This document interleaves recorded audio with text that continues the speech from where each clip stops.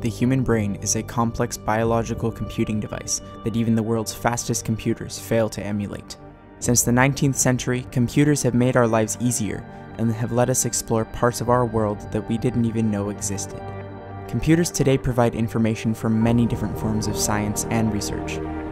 They started out with the sole purpose of solving simple mathematical equations with algorithms, but they are now able to do the most unbelievable things. So what does the future of computing hold for us? We've already started theorizing possibilities for advanced artificial intelligence that will help us better understand the human mind and complete advanced tasks. This future artificial intelligence will benefit us in many ways and may even allow us to explore far into other galaxies. But what's the difference between the human brain and a computer? Well, scientists are beginning to think that there may not be much of a difference. This makes it possible for us to see intelligent humanoid beings crafted out of computers in the future. We're already starting to see a merge between human intelligence and computers in everyday life. In the future, we hope to not only continue merging with technology, but hope to extend the uses of computers in everyday life and science.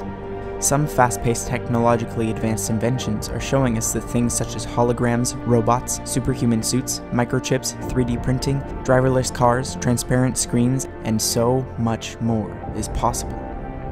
As of now, we use computers in everyday life, for everything from social networking to disease diagnosis and research.